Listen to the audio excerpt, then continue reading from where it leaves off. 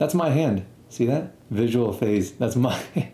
I mean, but he took the picture, and uh, we made this hella blue. We made this way more blue than it actually was.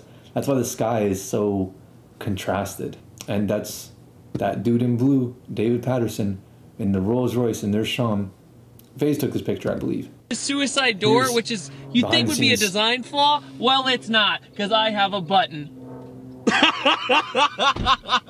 and I have That's that was from David's video, and we met David at Import Alliance, and just literally asked him like, "Hey, you want to review the cars?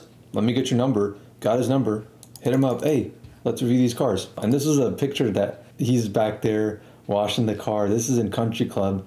I got my gimbal down here. He's got his uh whatever the hell this is called. I forgot. David, Sham, me, and there's my Bass Pro, Bass Pro gang, bro. Bass Pro. Uh, that's the uniform. And look at this one. Clarity to the fucking max. This is a cool photo. I don't really like it all that much. This is an iconic photo in my opinion. I did text him later on asking if he wanted to come to the ATL mob meets. He uh, after that he stopped responding to my texts. This is actually a super nice picture with like the starry night.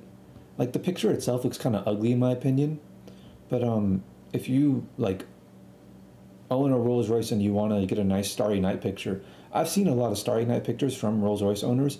They all look garbage compared to something like this. You know, it's a pretty clean, like it's very visible. You know exactly what you're looking at, and it's in the morning too, which they never do that in the morning.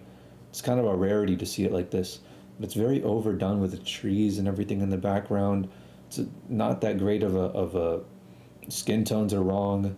Um, shirt's a bit too i don't know it's a bit very clean very clear too much clarity uh, not enough texture a lot of noise reduction going on. I think i did i think i would just throw noise reduction on all of my like this is there's clearly noise reduction this is supposed to be fuzzier you know? But yeah this is not like very well executed but it's a lot better executed than you'll see a lot of other rolls royce photos